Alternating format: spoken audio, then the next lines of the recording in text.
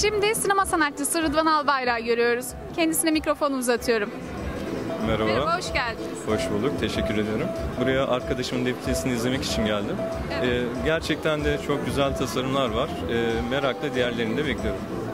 Hoş geldiniz tekrardan. Ee, sizin e, sinema projeniz vardı. Bununla ilgili son durum nedir onu öğrenebilir miyiz? Evet, e, sinema senaryo çalışmalarımız sona erdi. Şu an oyuncu seçmelerimiz devam etmektedir. Yakın zamanda da çekimlerini tamamlayıp sinemalarda izleyebilirsiniz. Umarım en kısa zamanda gösteriye girer. Teşekkür ederim.